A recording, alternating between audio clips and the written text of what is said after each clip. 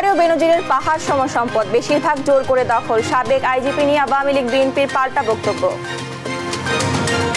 বেনজির যদি মামলায় দুর্নীতিবাদ সাব্যস্ত দেশে তাকে আসতে হাজার হাজার কোটি টাকা আপনার লোপাট হয়ে বাইরে চলে যাচ্ছে দেশের বাইরে।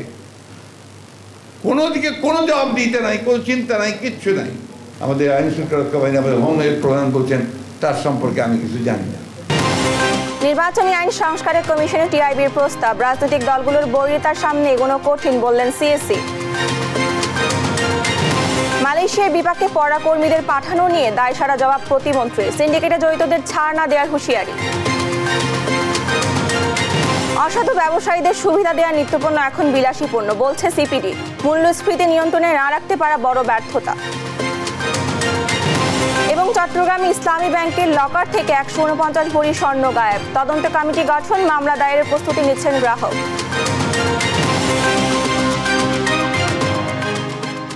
সংবাদদাতে দেখছিলেন একেএস টিমটি বার সংবাদ শিরোনাম। সঙ্গে আছি আমি ইরানা ইসলাম। পাহাড়েও পাহাড় সম সম্পদ গড়েছেন সাবেক আইজিপি বেনজির আহমেদ। অনুসন্ধানে জানা গেছে, বান্দরবানের গহীন বনে পঞ্চান্ন একর জমি কিনেছেন পুলিশের সাবেক এ মহাপরিদর্শক। অভিযোগ রয়েছে, এই সম্পদের বেশিরভাগই জোর করে দখল নেওয়া। এর মধ্যে বাইশ একর জায়গায় গড়ে তুলেছেন গরুর খামার। এ সম্পদে যাতায়াতের জন্য সরকারি টাকায় সড়ক নির্মাণ করে দিয়েছে সড়ক ও জনপদ বিভাগ। গরুর খামারে এসি লাগাতে দীর্ঘ পথ বিদ্যুতের লাইনও টেনেছেন সরকারি অর্থে। বান্দরবান থেকে আবুল বাসার নয়নের প্রতিবেদন জানাচ্ছেন শুভশ্রী রায়। পাহাড়েও থাবা বসতে ভোলেননি সাবেক আইজিপি বেনজির আহমেদ। বান্দরবানের স্থানীয়রা তাকে চিনেন পুলিশের বড় কর্তা হিসেবে। কাউকে কৌশলে ঠকিয়ে, আবার কাউকে হুমকি দিয়ে বাধ্য করে অন্তত পঞ্চান্ন একরের বেশি পাহাড়ি ভূমির মালিক হয়েছেন বেনজির। আইনি জটিলতা এড়াতে প্রথমে লিজের কথা বলে নিলেও কৌশলে আম মুক্তারনামার মাধ্যমে জমির মালিক বনে যান বেনজির আহমেদ। শুধু লামা উপজেলায় নয়, বান্দরবান জেলা সদরের নিকটবর্তী সোয়ালক ইউনিয়নেও ন্যাচার হিলস এগ্রো নামে পঁচিশ একর জায়গা জুড়ে গড়ে তুলেছেন গরুর খামার। তবে কাগজে পঁচিশ একর জমির কথা বলা হলেও এর দ্বিগুণ জমি তিনি দখল করেছেন ক্ষমতা খাটিয়ে। বনের গহীনে গড়ে তোলায় খামারে যাওয়ার জন্য সড়ক ও বিদ্যুতায়ন করা হয়েছে সরকারি টাকায়। পুলিশ কর্মকর্তা শুনছি কিন্তু ওনাকে আমি দেখিও নাই। বা ওনার কাছে আমার সাথে কোনো যোগাযোগ নেই। শুনছি পাঁচ ছয় একর আছে নেই কিন্তু জায়গার দূর নেই জায়গা পঁচিশ থেকে ছাব্বিশ একর কুলি বেঞ্জি নামে যারা জায়গাও কিনি। তো এখন পাড়া এর অনেক পাড়া আছে এখন পাড়া ঘর বাড়িও নাই। বেনাজির কাছ থেকে আমরা বিক্রি করে দিই। টাকা প্রয়োজন প্রয়োজন ছিল আমাদের এই সময়। তখন আমরা অল্প টাকা নিয়ে তাকে বিক্রি করে দিই। মানে মনে করো এই যে বাগান টাগান তারা মানে এসপি হিসাবে কিনিয়ে মানে সংগ্রহ করে চলে গেছে অনেক।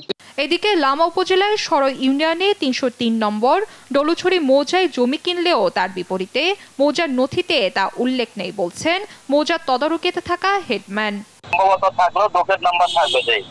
এটা তো হোল নিয়ে জায়গা না। না না, ওইটা মনে আসলে এটা নথিভুক্ত ইয়া না, জায়গায় না তৈরিভুক্ত জায়গা না, সম্ভবত খাসের দখলের এটা মধ্যে মনে সম্ভবত নিচে আর কি।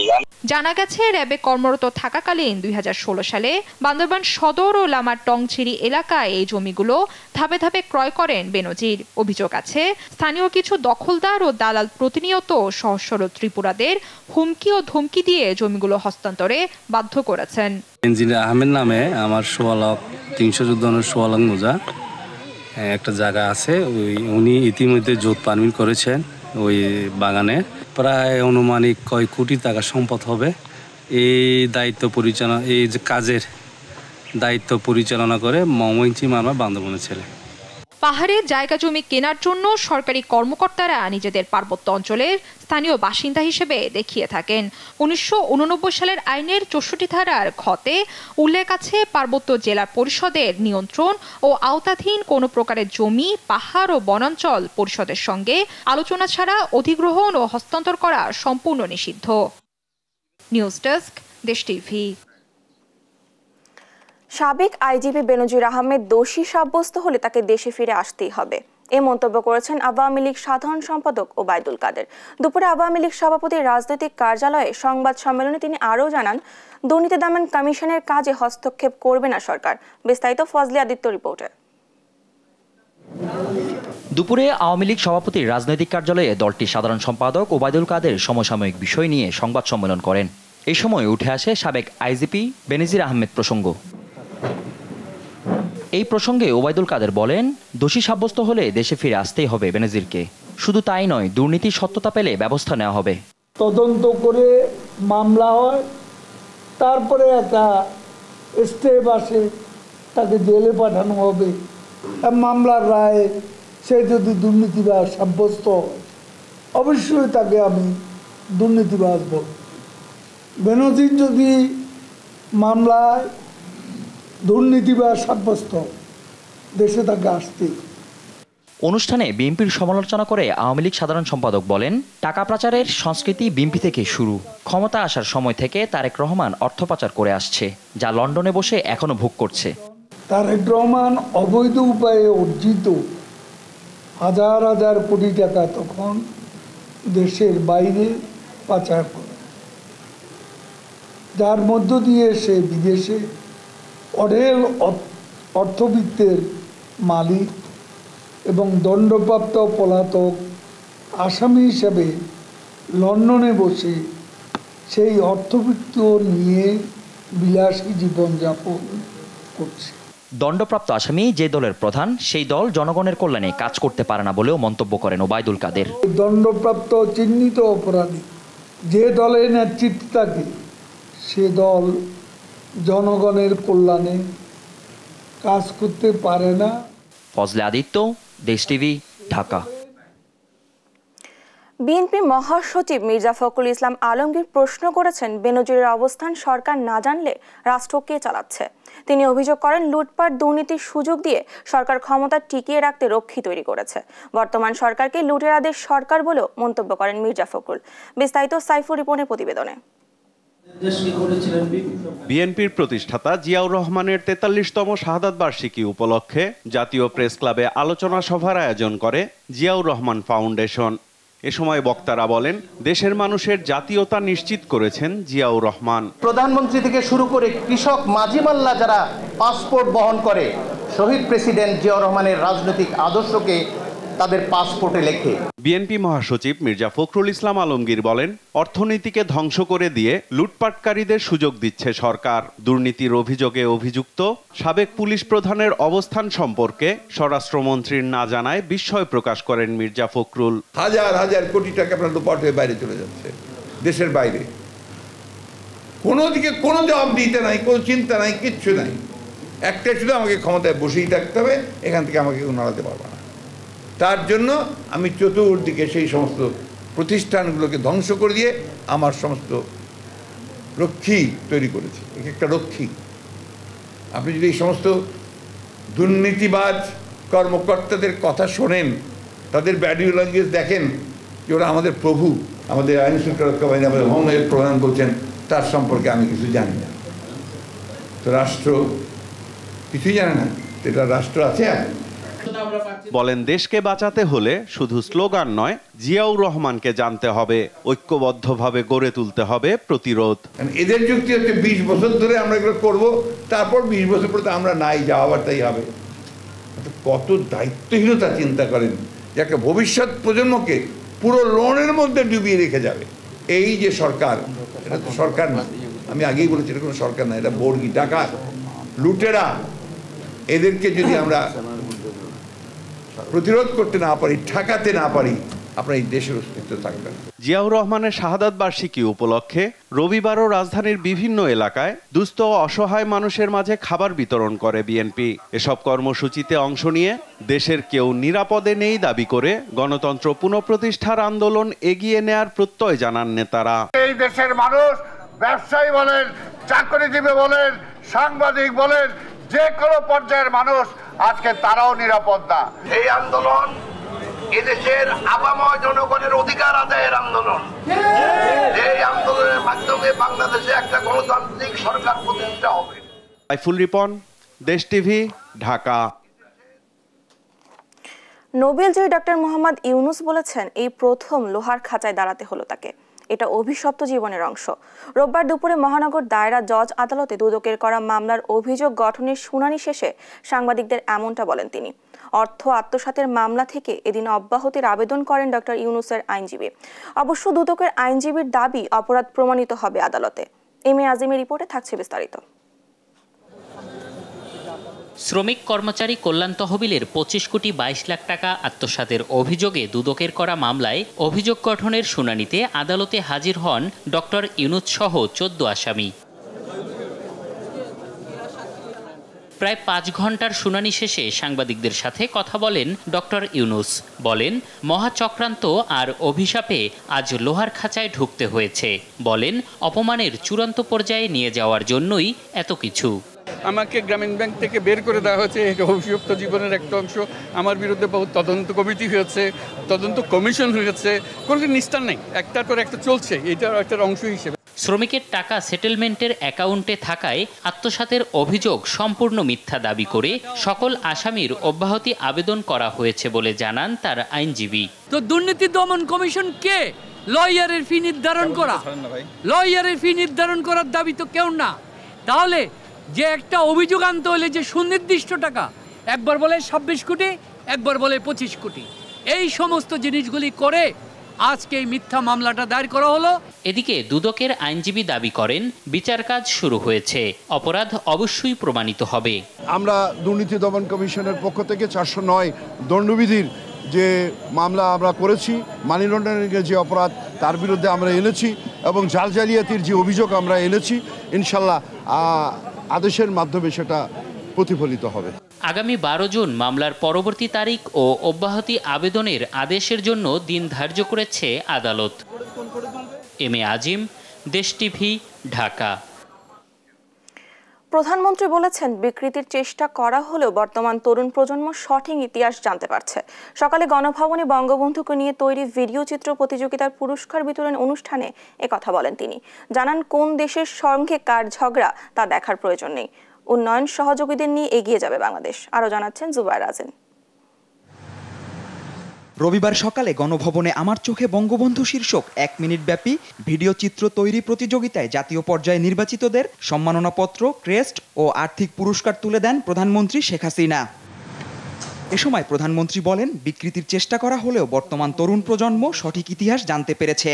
যে ইতিহাস বিকৃত করা হয়েছিল, সেই ইতিহাস বিকৃতি আজকে আস্তে আস্তে মুছে গেছে। এখন সঠিক তথ্যটা চলে আসছে।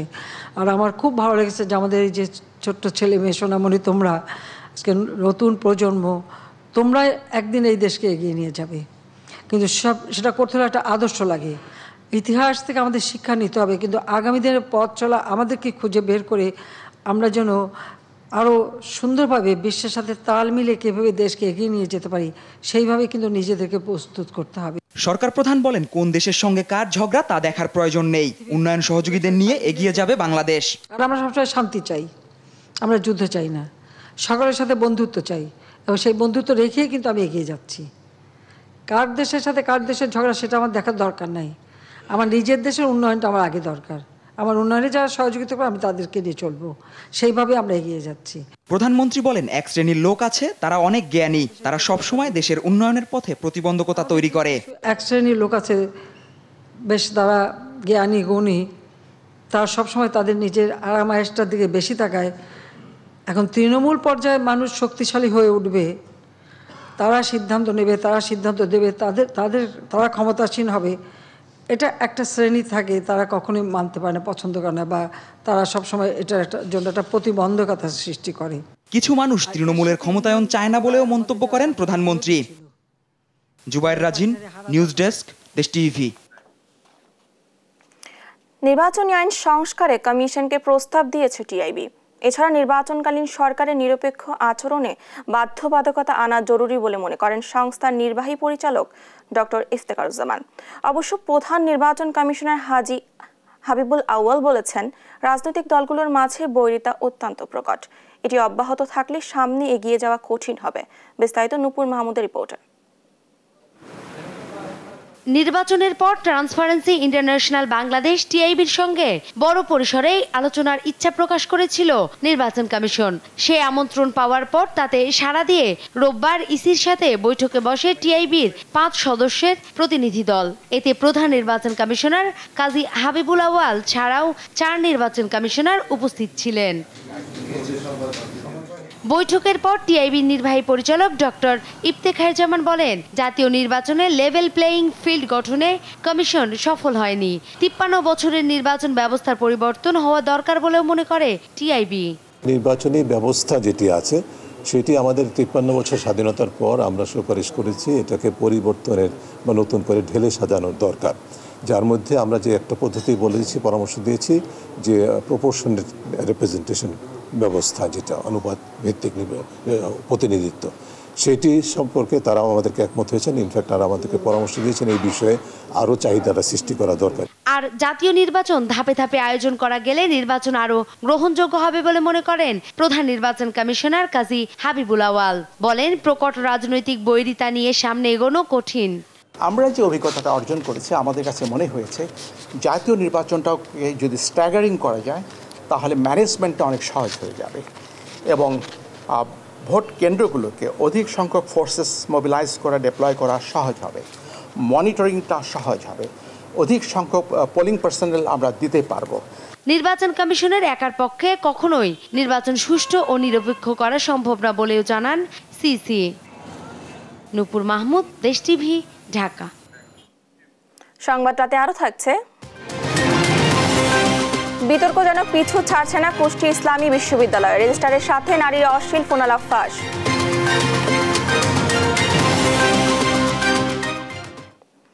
মালয়েশিয়া কর্মী পাঠানোর সিন্ডিকেট হাজার হাজার কোটি টাকা হাতিয়ে নিলেও তোর জন্যই প্রবাসী কল্যাণ মন্ত্রণালয়ের। আজ সংবাদ সম্মেলন ডেকে প্রতিমন্ত্রী শফিকুর রহমান বলেছেন, সিন্ডিকেটে এমপি মন্ত্রীর মালিকানাধীন রিক্রুটিং এজেন্সি জড়িত থাকলেও কাউকে ছাড় দেওয়া হবে না। অবশ্য প্রতিমন্ত্রী এও জানান, বাংলাদেশ সিন্ডিকেট না চাইলেও মালয়েশিয়া চায়। নিয়াজ মোর্শেদের রিপোর্টে থাকছে বিস্তারিত। মালয়েশিয়া সরকারের আলটিমেটাম গেল একত্রিশ মে, বাংলাদেশ থেকে কর্মী নিয়ে সবশেষ ফ্লাইট ছেড়ে যায় কুয়ালালামপুরের উদ্দেশ্যে। এরপরই কর্মী নেয়া বন্ধ করে দেয় মালয়েশিয়া। এতে বিপাকে পড়েন হাজার হাজার বাংলাদেশি কর্মী। যে পঞ্চাশ হাজার কর্মী যেতে পারেনি, তাদের মধ্যে বিএমএটির তালিকাভুক্তি রয়েছেন ষোলো হাজার নয়শো সত্তর জন। রোববার বিকেলে প্রবাসী কল্যাণ ভবনে সংবাদ সম্মেলনে কথা জানান প্রতিমন্ত্রী। বিএমএটির ছাড়পত্র আমরা দিয়েছি চার লক্ষ তিরানব্বই হাজার ছয়শো বিয়াল্লিশ জন। আর এই একত্রিশ তারিখ পর্যন্ত আমি যতটুকু হয়তো কিছু সংখ্যা বেশ কম হতে পারে চার লক্ষ ছিয়াত্তর হাজার ছয়শো বাহাত্তর জন গিয়েছে মালয়েশিয়া। সেই হিসাবে কম বেশি ষোলো হাজার নয়শো সত্তর জন যাইতে পারে নাই। যেসব রিক্রুটিং এজেন্সি অনিয়মে জড়িত তাদের শনাক্তে তদন্ত কমিটি গঠন করেছে সরকার। দোষী প্রমাণিত হলে ছাড় না দেওয়ার হুঁশিয়ারি মন্ত্রণালয়ের। তদন্তের মাধ্যমে যা কিছু বাড়িয়ে বাইরে আসবে যারা দোষী সাব্যস্ত হবে তাদের বিরুদ্ধেই কঠোর ব্যবস্থা গ্রহণ করা হবে।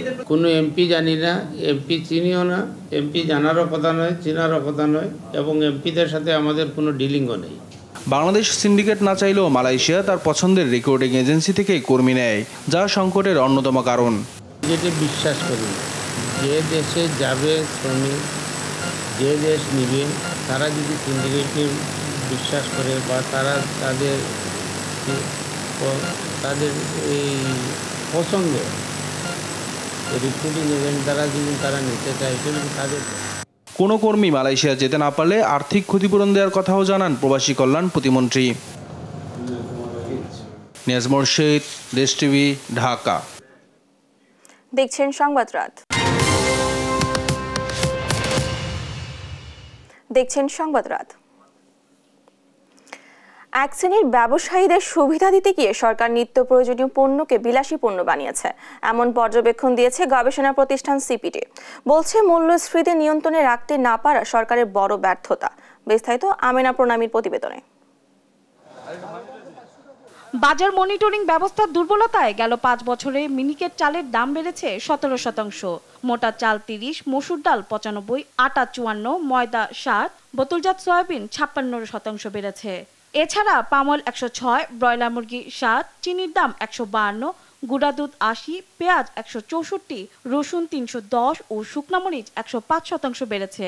গবেষণা প্রতিষ্ঠান সিপিডি দু হাজার তেইশ চব্বিশ তৃতীয় অন্তর্বর্তীকালীন গবেষণায় এই সকল তথ্য উঠে এসেছে। গবেষণা বলছে গরিবের ব্যয়ের তুলনায় আয় বাড়েনি। জিডিপিতে জাতীয় আয় বেড়েছে কিন্তু নিম্নবিত্তরা ভূমিকা রাখতে পারছে না। মধ্যয়ের মানুষের চাহিদা সম্পন্ন পণ্যের উপর সরকার করারোপ করে সবচেয়ে বেশি।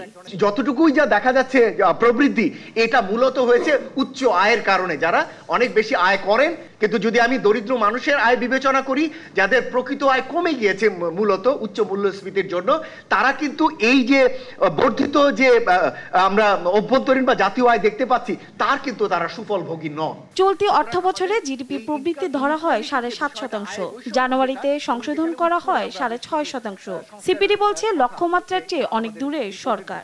বাজেটের টার্গেটগুলো ইতিমধ্যে অনেক জায়গায় অ্যাচিভ করার থেকে অনেক দূরে রয়েছে। সুতরাং সেগুলোকে ধরে মূল আলো প্রবৃদ্ধির মধ্যে ধরে যদি প্রবৃদ্ধির এখনকার প্রাক্কলন করা হয় তাহলে কিন্তু সেটিও আসলে অর্জনযোগ্য হবে না।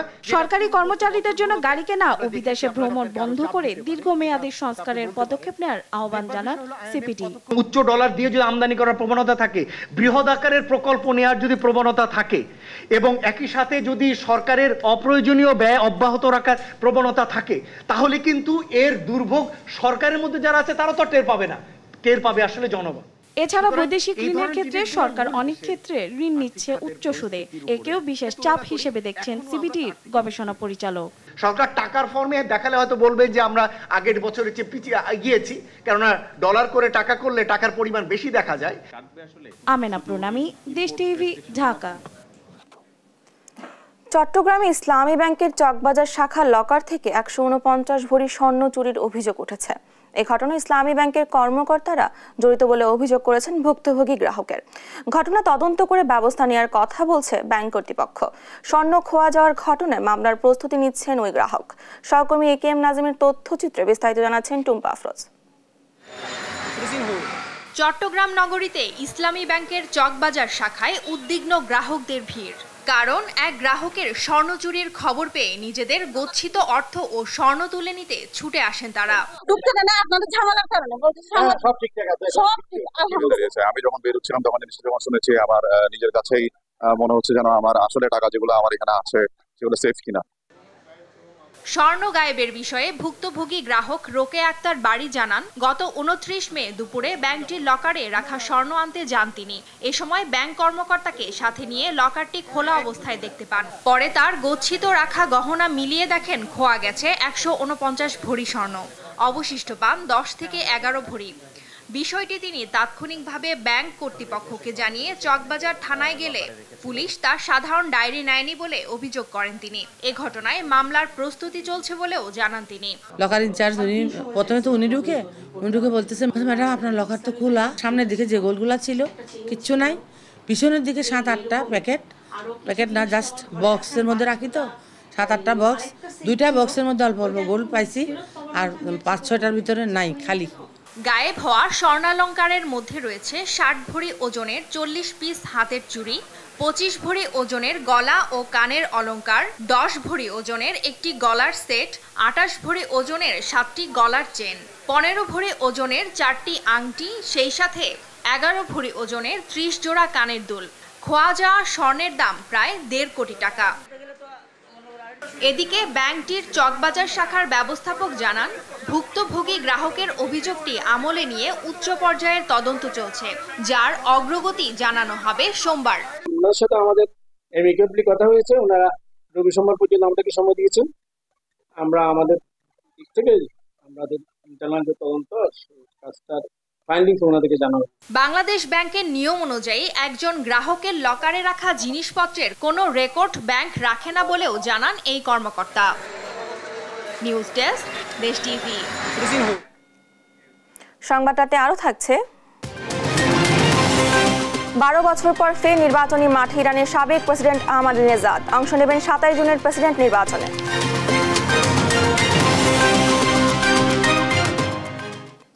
বিতর্ক পিছু ছাড়ছে না কুষ্টিয়া ইসলামী বিশ্ববিদ্যালয়ের প্রশাসনিক কর্মকর্তাদের। ভিসি প্রভিসির পর এবার রেজিস্ট্রারের সাথে ঠিকাদারের অর্থ লেনদেনের অডিও এবং এক নারীর সাথে অশ্লীল ভিডিও ফাঁসের ঘটনা ঘটেছে। যা নিয়ে ক্যাম্পাস জুড়ে চলছে সমালোচনার ঝড়। তবে রেজিস্ট্রার আলী হাসানের দাবি, ভিডিও এডিট করে বানানো।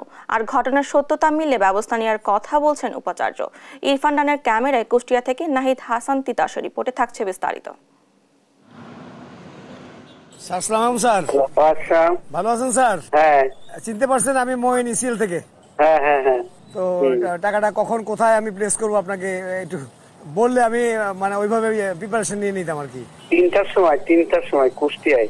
আচ্ছা ঠিক আছে। একের পর এক উচ্চপদস্থ কর্মকর্তাদের বিতর্কিত অডিও ও ভিডিও ফাঁসের ঘটনায় নাট্যমঞ্চে পরিণত হয়েছে কুষ্টিয়া ইসলামী বিশ্ববিদ্যালয় ক্যাম্পাস। ভিসি, প্রভিসির পর এবার ঠিকাদারের সাথে অর্থ লেনদেনের অডিও ও এক নারীর সাথে অশ্লীল ভিডিও ফাঁস হয়েছে বিশ্ববিদ্যালয়ের রেজিস্ট্রার আলী হাসানের।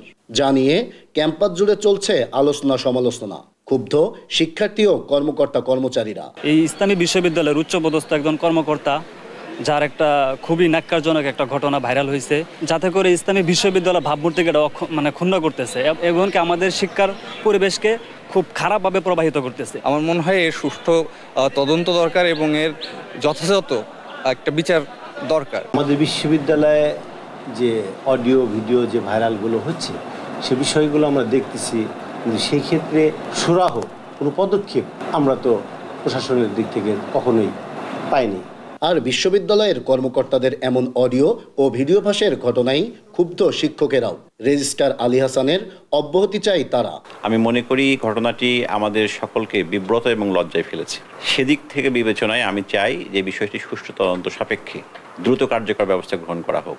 তদন্ত কমিটির তদন্ত শেষ না হওয়া পর্যন্ত এবং কার্যকর ব্যবস্থা গ্রহণ না হওয়া পর্যন্ত রেজিস্ট্রারকে তার দৈনন্দিন কার্যাদি থেকে সাময়িক অব্যাহতি দেওয়ার জন্য জোর দাবি জানাচ্ছি। তবে ওই রেজিস্ট্রার আলী হাসানের দাবি এই ভিডিওটি তার নয়। ভাবমূর্তি ক্ষুণ্ণ করতে ভিডিওটি এডিটিং করে বানানো হয়েছে। আমি দেখি নাই আমি আমার এটা তবে আমার ইটা না ওটা সম্পূর্ণ এআই এর মাধ্যমে করা হয়েছে এদিকে এ ঘটনায় বিশ্ববিদ্যালয়ের ভাবমূর্তি ক্ষুণ্ণ হওয়ার কথা স্বীকার করে ভিসি বলছেন এসবের সত্যতা মিললে ব্যবস্থা নেবেন তারা। এইটা আমাদের তো দেখতে হবে। যদি পরে আমি আমি যদি যদি সত্য হয় তাহলে আমি আপনার এসে যাব। এই জাতীয় নেগেটিভ কাজগুলো যারা করে, নিশ্চয়ই ইউনিভার্সিটির ভাবমূর্তি এতে ক্ষুণ্ণ হয় আর বিশ্ববিদ্যালয় প্রশাসনের উচ্চপদস্থ কর্মকর্তাদের এমন বিতর্কিত কর্মকাণ্ডে ভাবমূর্তি ক্ষুণ্ণ হচ্ছে বিশ্ববিদ্যালয়ে। তাই এ ধরনের ঘটনার সাথে জড়িতদের বিরুদ্ধে তদন্ত সাপেক্ষে ব্যবস্থা নেওয়ার দাবি শিক্ষক শিক্ষার্থীদের নাইদা সান্তিতাস দেশ টিভি, কুষ্টিয়া। বগুড়ার বনানীতে এক আবাসিক হোটেলে থেকে মা সন্তানের মরদেহ উদ্ধার করা হয়েছে। এ ঘটনায় ঘাতক স্বামীকে আটক করেছে পুলিশ। প্রাথমিক জিজ্ঞাসাবাদে হত্যার বিষয়টি স্বীকার করেছেন তিনি। হত্যার রহস্য উদ্ঘাটনে কাজ করছে আইন শৃঙ্খলা রক্ষাকারী বাহিনী। সহকর্মী সঞ্জু রায়ের প্রতিবেদনে থাকছে বিস্তারিত। একমাত্র আদরের কন্যা ও এক বছরের ফুটফুটে নাতের মৃত্যুর সংবাদে পাগল প্রায় বাবা আসাদুল। বিশ্বাস করতে পারছেন না, নিজ জামাতাই ঘাতক তাদের। অথচ শনিবার নিখোঁজের কথা বলে তাদের সন্ধানে ঘাতক করেছেন মাইকিংও। এখনও আমি জানিনি। আপনি করছেন যে সত্য করছেন না মিথ্যা করছেন? আমার বিশ্বাস হচ্ছে না যেটা আপনি সত্য কথা করছেন মানে বিশ্বাসই হচ্ছে না। আল্লাহ দেখা বন্ধু। সর্বোচ্চ শাস্তি যেটা বাংলাদেশে, সেটা আমরা চাই যে ফাঁসি একটা তার বাবাকে দেওয়া উচিত। জানা যায়, বছর তিনেক আগে বগুড়া ধনুটের হামিদুর রহমানের ছেলে সেনা সদস্য আজিজুল হকের সাথে বিয়ে হয় আশামনির বছর খানিক আগে তাদের ঘরে জন্ম নেয় এক ছেলে সন্তান। সম্প্রতি দুই মাসের ছুটিতে বাড়িতে এসে শনিবার বগুড়া শহরের বনানীতে স্ত্রী এবং সন্তানকে নিয়ে শুভেচ্ছা আবাসিক হোটেলে ওঠেন আজিজুল। শনিবার রাতেই স্ত্রী এবং একমাত্র সন্তানকে হত্যা করে ঘাতক আজিজুল। তারপর বাঁচতে সাজাতে চেষ্টা করেন নানা পরিকল্পনা। তবে রোববার হোটেলে ভাড়া পরিশোধ করতে এসে ধরা পড়েন আজিজুল। বের হয়ে আসে স্ত্রী সন্তানকে হত্যার বিষয়টি। তার স্বামী নটার সময় বলল, মেডিকেলে তার ভাবি আছে, মেডিকেলে যাবে। শহীদ জিয়াতে আছে যেতে পারে যেতে পারে না? গেছে, কিন্তু রাতে সে ব্যাক করে আসে নাই। তারপরে উনি সকালে নটার সময় আসছে। আজকে সকালে নটার সময় আসছে। এসে বলতেছে আমরা ভাড়া পেড করে দেবো। তা তখন আমার ম্যানেজার বলছে যে ভাড়া তো নেব ঠিক আছে কিন্তু চলেন আপনি রুমটা আমরা দেখব। সেই সময় সে বলছে যে আমি তো আমার ওয়াইফ বাচ্চাকে নিয়ে ঘটনা জানার পরই ঘাতক আজিজুল হককে আটক করে পুলিশ।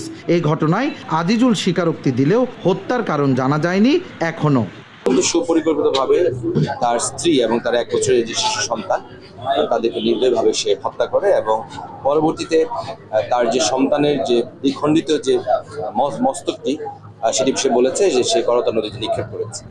তো আমরা ইতিমধ্যে যে আজিজুল তাকে যাকে আমরা আমাদের নিয়ন্ত্রণে নিয়েছি আমরা তাকে জিজ্ঞাসাবাদ করছি।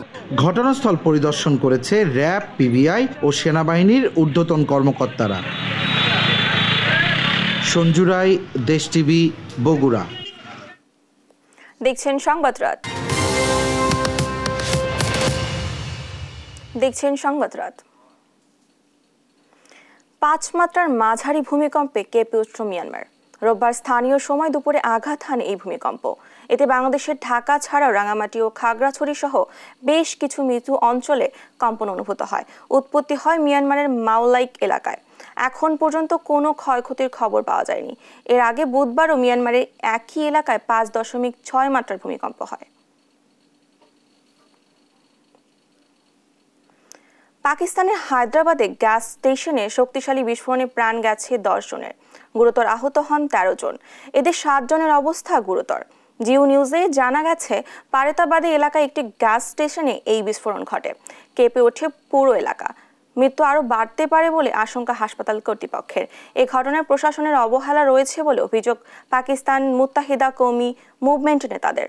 ওই এলাকায় প্রায় ছয় লাখ মানুষের বসবাস। এমন জনবহুল স্থানের ত্রুটিপূর্ণ স্টেশনে বন্ধে কোনো পদক্ষেপ নেয়নি প্রশাসন। পুরো ঘটনা তদন্ত চালাচ্ছে পুলিশ।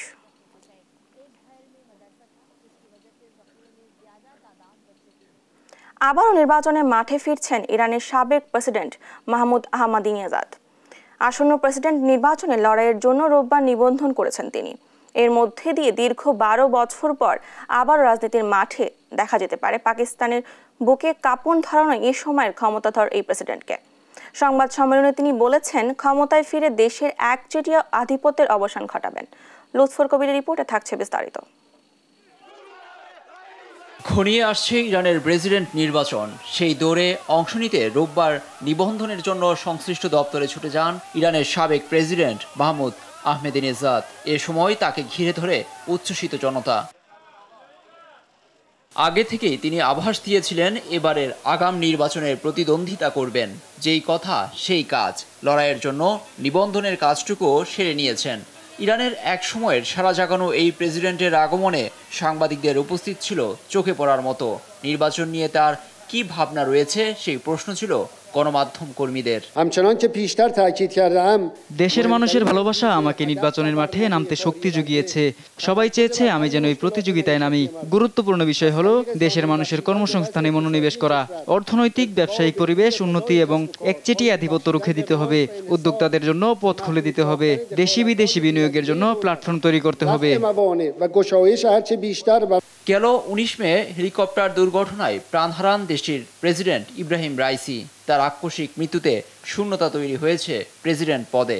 সেই সুযোগ লুফে নিতে চান আহমেদ নেজাদ। তবে তার প্রার্থিতা বাতিল করে দেওয়া হতেও পারে। কারণ দু হাজার উনিশ সালে তার সঙ্গে ইরানের সর্বোচ্চ ধর্মীয় নেতা আয়াতুল্লাহ খামেনির দূরত্ব তৈরি হয়। নির্বাচনে অংশ না নিতে সতর্ক করেছিলেন তিনি। এবারও সেরকম কিছু দেখা যেতে পারে।